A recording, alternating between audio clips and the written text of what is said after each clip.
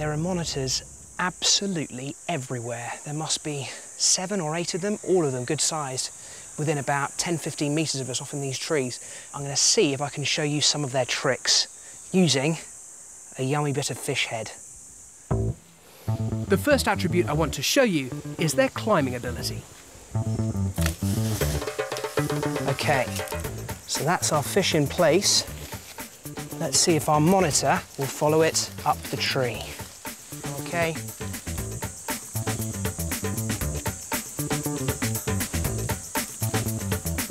Look at that. They're like an all-terrain vehicle, just scampering up the tree in search of food. Yes! And he's got it.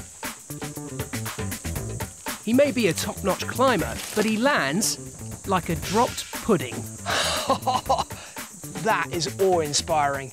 Here he goes again.